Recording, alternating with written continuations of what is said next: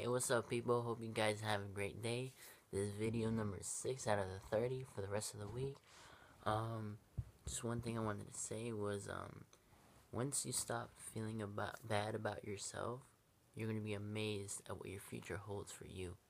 And what do I mean by this? Okay, a lot of people tend to, um, feel bad for themselves, you know, like, oh man, I don't have this, I don't have that, or I don't have the best job, and I'm not the best boyfriend or, or husband, you know, I, I, uh, uh, you're always feeling low about yourself.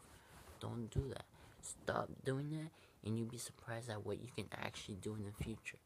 Because again, what you think, how you think now, determines your your your tomorrow. Sorry about that. You know what I mean?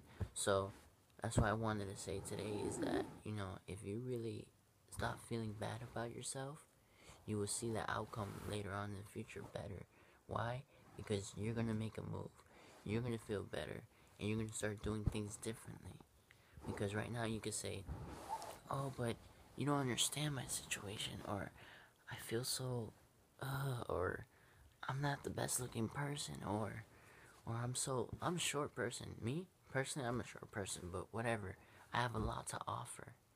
Right now, I like to help people. I like to give them messages. I have a lot to offer.